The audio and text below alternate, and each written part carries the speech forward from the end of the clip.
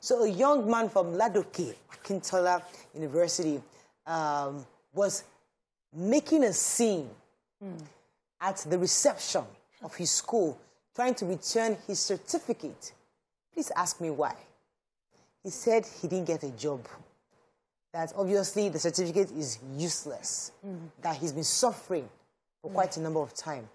Now, this was hilarious to many. But we decided to dig further. Because lots of people will say they can relate. Mm. You spend four years, seven years, some eight years in university. You finally get this, in Nigerian terms, pali. You can't, do, you can't use it for anything. Mm. So this is where frustration is pushing Nigerian students to, to. But do you think that justifies going to the reception and making a scene? And what are your thoughts about that? What are your reactions to what that man did? So on the one hand, there's the clout thing, which is very common uh, ah, these days. So it clout. might be a way for him to, you know, let people know he needs help, which he, he eventually said. He said he's looking for a job, he needs help. So it could be a way like, okay, I've done everything. Now, maybe if I create a scene, I will trend online. My helper will find me. Ah. That's on the one hand. On the other hand, however, so many Nigerian youth wish to do that. Mm. You want to go back to your university and say, you know what?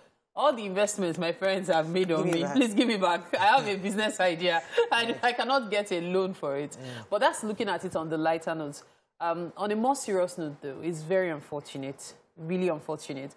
And uh, I always tell young people, when you go to the university, learn for the benefit of having that knowledge.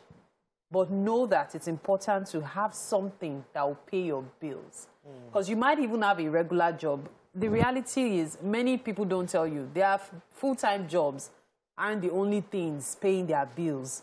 You need to also work on skills. You need to be able to support yourself. Mm. All over the world, it's in Nigeria that we don't get this. You see people do nine to five for three, four days a week. What it means is you have three more days to do other jobs. Yeah. So you have people having two, three jobs. We can't do that in Nigeria when the jobs haven't even gone round.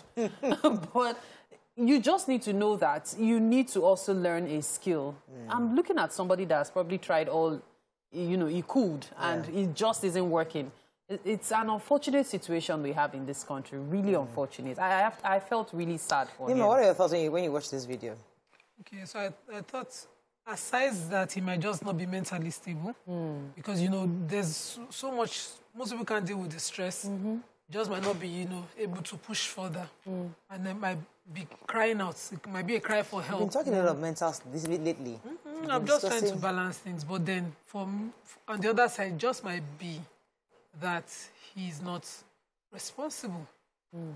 you know so you get a degree unfortunately, we had the mental or whatever brainwashing mm. that white collar means that you go to school and you come out to get a job. Yeah. I know I'm dealing with some young people now who are just incapable of trying out their hands on business, even those who whose parents are constantly in business. Mm. So if your mother is trading and your father is trading, you grew up in business. Mm.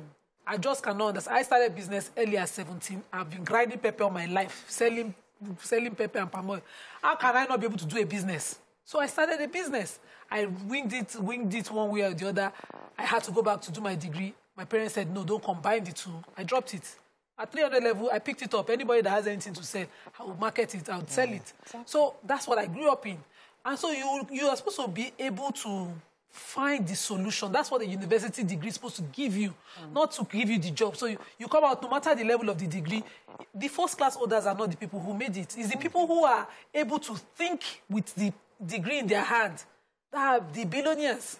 That's the honest truth. Mm -hmm. In our own Nigeria, our reality is that the first class holders are not the people in the billions. Mm -hmm. It's the person who is able to hold the certificate and think. Mm -hmm. That's the innovators. Is the, yeah. the ability to, to, to think beyond thinking, to reason. That's what a degree is supposed to give you. So if maybe you should, maybe the university themselves should collect the degree back if you're unable to wear that capacity. That's what it's supposed to give you. So maybe oh, aside that, not to be, in order not to be too harsh on him, I'm thinking maybe just. Well, it's interesting, but, but I think it's probably more what Barry said, clout chasing, because I think mm. this strategy now, where you just gonna make noise and just mm -hmm. you know do something that is really silly Twitter, to grab because the guy that was recording obviously seemed to be quite staged. You know, for yeah. somebody that was just wondering, You know, you see like the camera is a big. To the end. So he got it. So did it was, you, was planned. I didn't like even see the video. I read it. So yeah. So, so, did you see? Did you see that? You know, he he wrote the, the story was reported that he's married with family. Yes, with two children. You can think of that one. yes. And you cannot think that my kids must not go hungry. Mm. That's why now you know people do desperate things.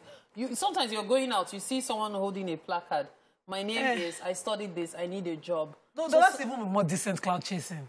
When you call out your university institution, you're saying I'm a bad product of school. Ouch. I know that my in, well, I finished from LASU. There's a part of your certificate during your convocation where LASU says we will take back the degree yeah. if you do not conform to certain parts of society. I was called to bar. You're supposed to be fit and proper. So as I am going, I'm a representation of where I was trained, and I will do better.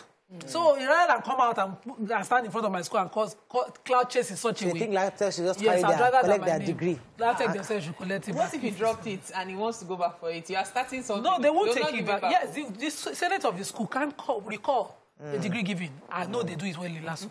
Oh, I, I, I didn't know about that. I didn't that you don't want to. I, I also uh, attended LASU. They will recall it. LASU is a very strict school. Strict school. Ah.